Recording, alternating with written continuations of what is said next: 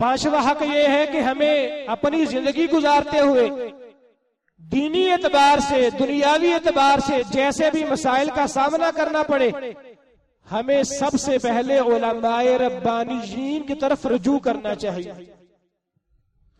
मुआशरे के अंदर जब भी फितने जन्म लेते हैं कभी कभी हालात ऐसे पैदा होते हैं कि आम आदमी को हक और बातिल मुलतविस हो जाता है।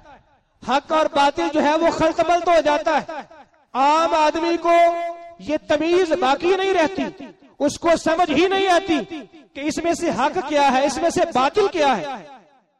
ऐसे हालात में हक ये बनता है कि ओलमा की तरफ़ रजू किया जाए।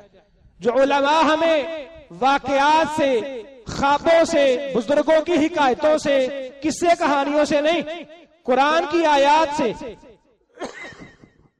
अम्बिया के राम सलाम की वाकयात से और अहादीस की रोशनी में हमारी बिल्कुल सही सिमत में रहनुमाई कर सके।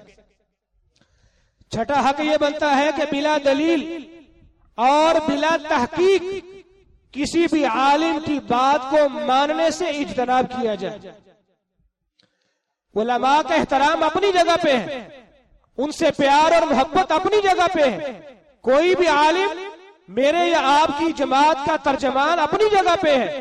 लेकिन अगर कोई ऐसी बात करता है, जिस बात का आपको पहले से इलम नहीं है तो आप ज़रूरी इसका मतलब ये नहीं है कि उलमा जो कहते आप आँखें बंद करके हर बात मानते चले आए। कुरान मजीद में अल्लाह ताला फरमाते हैं कि रहमान के बंदों की खास सिफ्त ये है, लम यखिर सुम्मा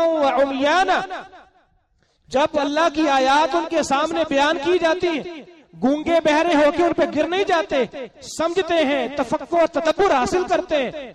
और हमें भी चाहिए बड़े ही एहतराम से, अपने उलमा से जो वो मसला बयान करें, उनसे गुजारिश की जाए कि हमें इसका हवाला चाहिए।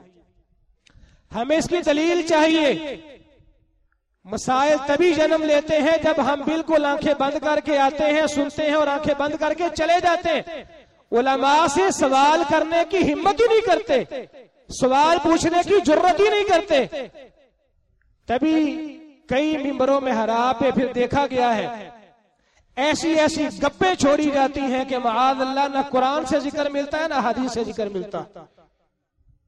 तो जब भी कोई ऐसी मशकूक गुफ्तगु मिले, फ़ौरन उस आलिम रब्बानी से, उस आलिम साहब का एहतराम मद्देनजर रखें और उनसे दलील का तकाजा कीजिए। क्योंकि जनाब अनस बिन मालिक रज़ी अल्लाह रिवायत बयान करते हैं, उलमा भी आम इंसानों की तरह इंसान ही है। उनसे भी गलती का इरतकाब मुमकिन है। हो सकता है कि वो लाइलमी की वजह से कोई ऐसी बात बयान करते जो खालिश कुरान सुन्नत में नहीं है।